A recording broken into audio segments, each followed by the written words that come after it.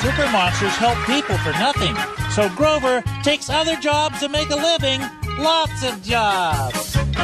Oh. Sometimes he's a waiter who brings you things to eat. Or if you need a newspaper, he sells them in the street.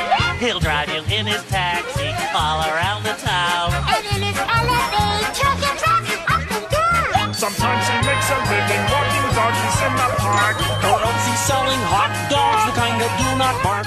It really is amazing with all the things to do.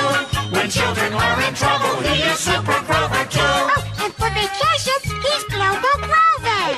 Hello there.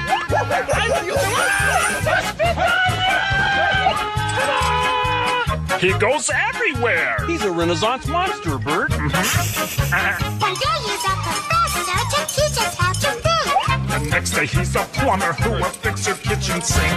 And sometimes he's a firefighter carrying a hose. And sometimes he's a dancer, spinning as he goes. Sometimes he's Marshal Grover on Fred the Wonder Horse. Or else he is a farmer who has one too, of course. It really is amazing with all the things to do. When children are in trouble, he is Super Grover too.